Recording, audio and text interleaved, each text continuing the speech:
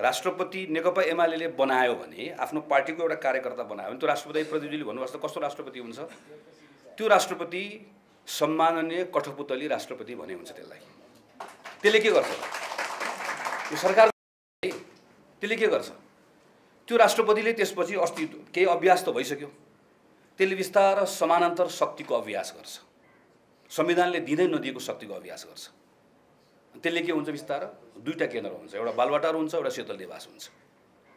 अनि बालवाटारबाट कार्यकारी अधिकारको प्रयोग गर्ने ठाउँमा शीतल निवासले पनि कार्यकारी अधिकार प्रयोग गर्छ र त्यो एक ठाउँ गएर ठोकिन्छ।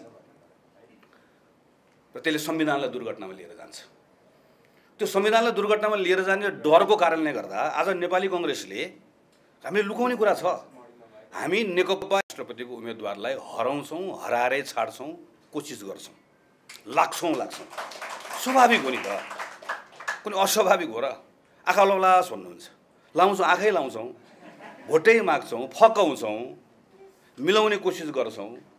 त्यसलाई मत लिने कोसिस गर्छौँ र अब त्यहाँभित्र त्यो राष्ट्रपति हामीले भनेको उम्मेदवारलाई राष्ट्रपति जिताउने कोसिस गर्छौँ। किनकि राष्ट्रपति को हुने भन्ने भन्दा पनि संविधानको यसलाई दुर्घटनामा लिएर जाने कि नजाने भन्ने हाम्रो मनमा डर पसेको छ। डर हिजोको राष्ट्रपतिहरूको भूमिकाको कारणले गर्दा पसेको छ।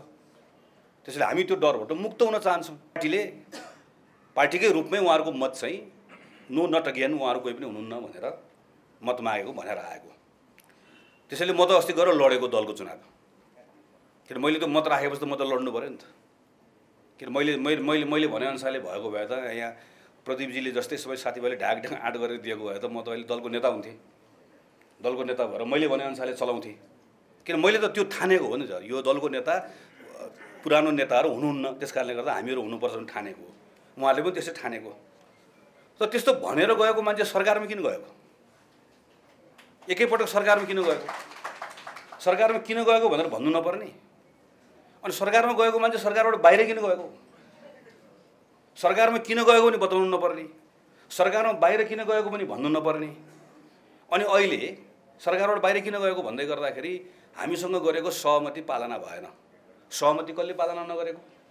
प्रधानमन्त्रीले पालना नगर्नु भएको सबभन्दा रिसाउनु पर्ने प्रधानमन्त्रीसँग होइन। अनि अहिले सरकार छोड्दै गर्दा सरकारको समर्थन फिर्ता लिनुपर्ने होइन। सहमति पालना नगर्ने अनि समर्थन फिर्ता किन नलिएको?